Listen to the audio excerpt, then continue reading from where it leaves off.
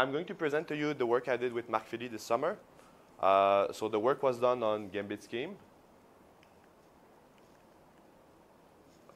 Okay, uh, so it's, it's fairly standard with uh, a front end and some back ends. So the front end takes uh, the scheme code and generates code for the GVM, the Gambit virtual machine, and then the back ends take that code and generate uh, their own target code. So currently there's a JavaScript backend and also a C backend. And uh, the C backend is the most mature and the most performant backend of the two, and is in some ways the, uh, the reference implementation of Gambit. Uh, so for the C backend, the runtime library is written in Scheme and in C, and that's uh, important for a little bit later. So we thought we could get better performance. Uh,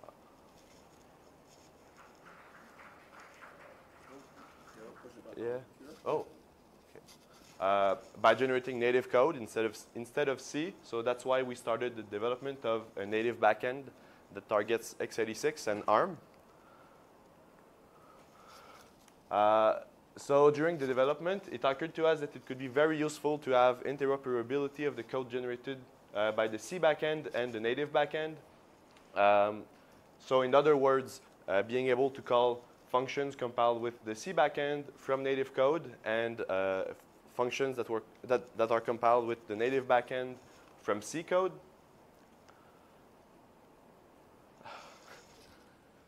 Uh, and we call these um, jumps between C code and native code cross jumps. Uh, before showing you how, uh, I'll tell you a little, a little bit about why. So uh, as I said earlier, part of the runtime library is written in C.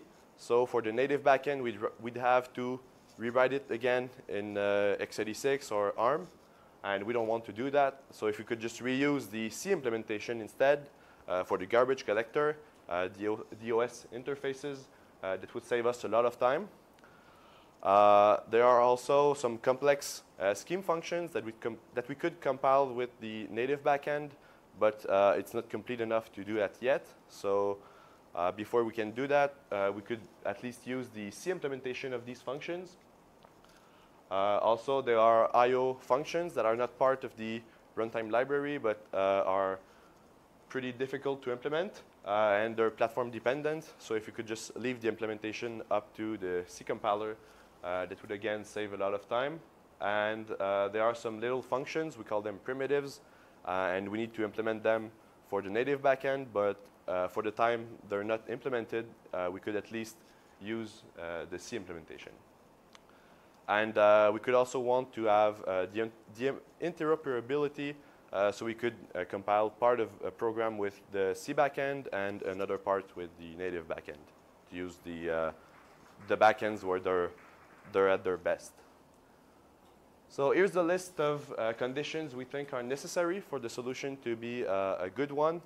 So first, cross jumps should be transparent. Uh, so what we mean is that the code that calls a function shouldn't have to check if uh, the function was compiled with the native backend or the C backend. It should just call it using its own calling convention, and it should just work. Uh, so that means that uh, the existing code shouldn't uh, slow down when uh, not doing a cross jump. Also, because we're working on the native backend for performance reason, uh, we insist that the implementation of a function call from native code is a simple branch to address instruction.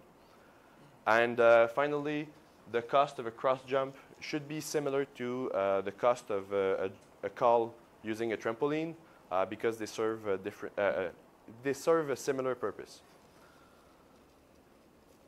so here's how the C backend works. Uh, the GVM has some registers, so they're stored inside the processor state. There's also a frame pointer, a heap pointer, and the program counter. And uh, the program counter is um, points to the currently executing control point. And the control point is a procedure, a continuation. Um, yeah, and this field is used by the trampoline. And uh, also this the C backend generates label structures, and they're used to represent the uh, control points.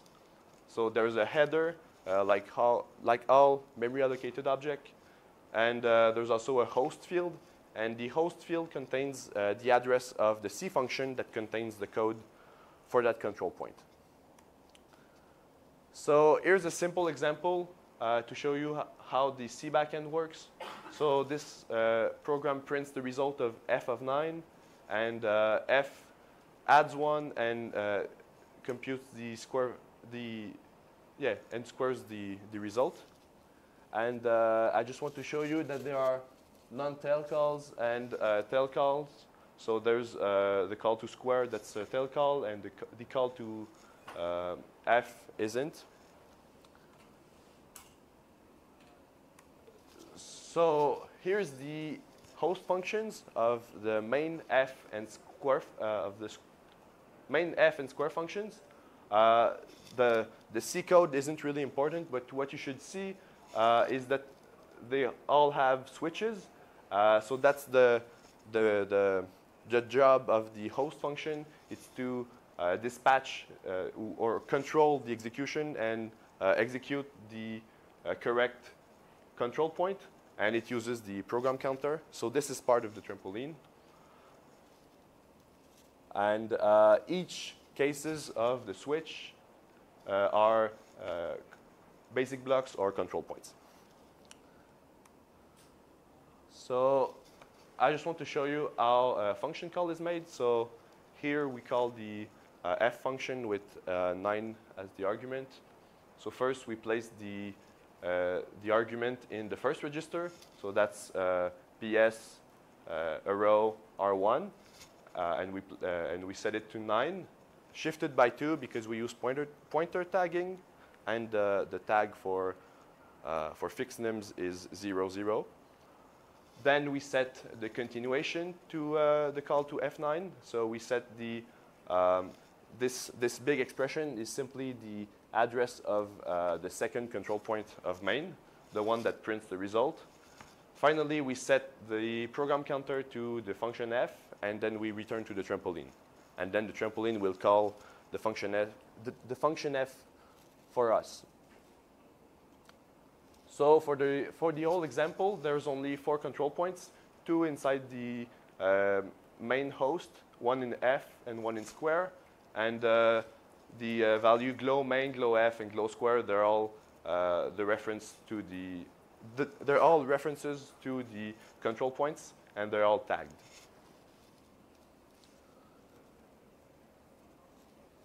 So here's the uh, execution. So at first, uh, the trampoline is executed, is called with the program counter set to the first control point of main. Uh, so it calls the host main, which then execute the first case. Uh, we call f, then return to the trampoline, which calls f, uh, which adds one, calls square, uh, return to the trampoline, calls square function, the, the square control point, and then we uh, square the argument, set the program counter to the continuation, then return to the trampoline and print the result and exit. Uh, so this is uh, a, little, a little bit simplified. There are some optimizations that you can do. Uh, so the first one would be to, uh, instead of returning to the trampoline, to simply uh, jump at the start of the host function if you know that the uh, destination control point is in the same host function. Also, you could put all your control points inside the same host function. So that way you could uh, really reduce the, um, the, the amount of time you need to uh, return to the trampoline. Then you can use computed go-tos and um, cache part of the processor state inside, uh, inside variables to uh, encourage the C compiler to uh, use machine registers. Uh, so here's how the native backend works. Uh, uh, I, won't, I won't go into too much detail, but I just want to show you uh, how it's different from the C backend. So first, it doesn't use a trampoline. Uh, then, because we have control over the register allocation, we can put most of the processor state inside the machine registers. So for example, this is the register allocation for x86 64. Uh, and we also generate label structures. So finally, our solution. Uh, it uses three parts. The first one uh, is two functions. We call them bridge functions. Uh, and these functions are called when uh, doing when a cross jump is made. Uh, and their job is to uh, move the, the processor state where the destination code expects it, and then resume the execution. The second part is uh, because we insist that, the, uh, that uh, a, a, function call from native code is a simple branch to address instruction, we need to make sure that uh, the reference to a control point generated by the native backend uh, points inside machine code. So we need to uh, adjust the label structure. And finally, we need to make sure that both the C and, and native label structures uh, support being called from the trampoline and from a simple branch to address instruction. So for the native backend, we had we add the host field, uh, uh, which contains the address of the toNative bridge function, so that when the trampoline calls uh, a, a, native function, it executes the native uh, bridge, and then it can move the, the processor state and resume the execution. And uh, for the C backend, uh, we just add some uh, machine code where the, where, the reference where the reference points so that uh, when the native code calls a C label structure, that code gets executed, and uh, that code simply calls the other bridge function, the from native bridge. So here's how the label structures look like. So as you can see, the reference uh, in both cases point to machine code. And uh, for uh, the native label structure, there's a host field which contains the two toNative bridge. And uh, for the C backend, we added uh, a, a, code field which contains the from native, uh, a, a, call to from native bridge. And here's where the compiled code is placed. So as I showed you earlier, for the C backend, it's placed inside the host function. And for the native backend, it's placed at the end of the label structure. Uh, and there's uh, three dots, so it, it continues uh, for as long as, as needed. Uh, so when the uh, when a native function is called from the trampoline, uh, as I said earlier, the two native bridge gets the host gets loaded by the trampoline, and uh, it's called. So the two native bridge is executed, uh, which then can jump inside the machine code.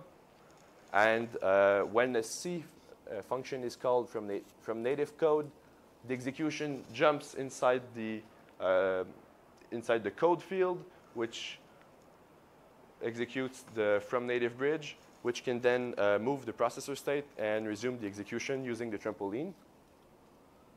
And uh, you really can go back and forth uh, between the two. Uh, you can call a C function. It can do uh, its own things and come back uh, to, to native code uh, later. And there's really no, um, no, li no limitation. You can do tail calls that way. so that doesn't support closures, but it's a little bit more complicated. So see the paper for that. And, oops, and here's the implementation of the bridge functions. Uh, the, the code really isn't important, but uh, the, the, the overall characteristics are. So it's only one C function for both uh, the two bridges. Uh, and the, the C function is mostly inline assembly. Oh, and uh, yeah, the C function is to native bridge, and from native bridge is a simple label inside the, the bridge function. And uh, there are 18 and 19 uh, and 15 machine instructions, and they're mostly loads. Yeah. Um, and every time the bridge function is executed, the trampoline is also executed. So the solution should be, uh, a, a cross jump should be at least at least slower than, no. Yeah, it, it shouldn't be faster than the trampoline. So now the evaluation, we want to measure the overhead of a cross jump. So we use that simple program that uh, loops 100 million times, and it repeatedly calls the dec function. And uh, we use multiple variants of that benchmark. Uh, so the first one is uh, we compiled the entire program using uh, the native backend only.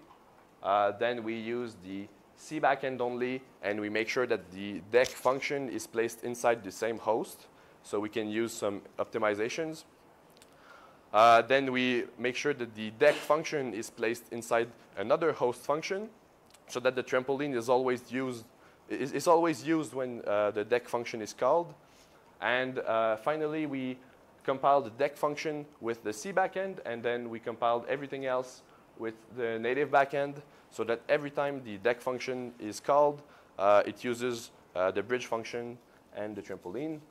So here are the times. It's uh, between 2 and 58 times, uh, 2 and 58 percent uh, slower than the than the trampoline only time.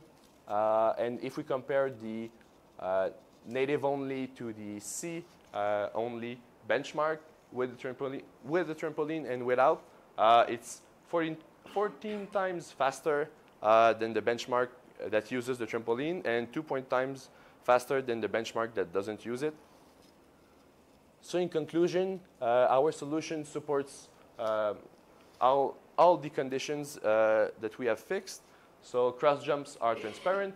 Uh, the, native, the native jumps are a simple uh, branch to address instruction, and the cost of cross jumps is uh, negligible compared to uh, a, a, trampoline. And uh, that's uh, ideal for our use cases. the main one is to support the development of the native backend, so we can reuse the C infrastructures, like, the, like the garbage collector, but also the benchmarking primitives. And we consider not implementing the IO functions in native code and just reuse the C implementation, uh, seeing the, uh, the similar cost to the trampoline. Thank you.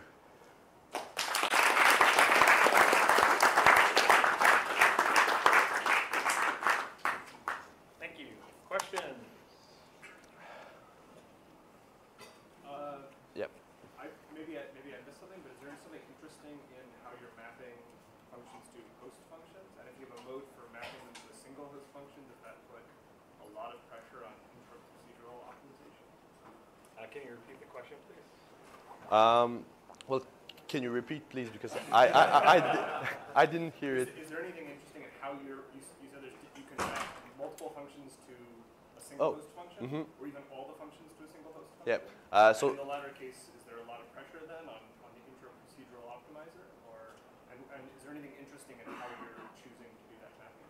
Uh, no, we just uh, when we choose the uh, second optimization, uh, we put all the functions uh, in, of a single module inside the same host function. And uh, I think that's based on the hypothesis that um, most functions call other functions that are in the same module. Um, but I don't know if, if we're doing uh, more optimization. And yeah, does that answer your question? Sure. Do, do you get some pretty huge? Yeah, but the, the, the, there's a limit to that, uh, and it's the, the C compiler uh, otherwise, we would compile everything in the same host function, but it's, it, it doesn't scale uh, linearly. Okay, yeah. Yeah.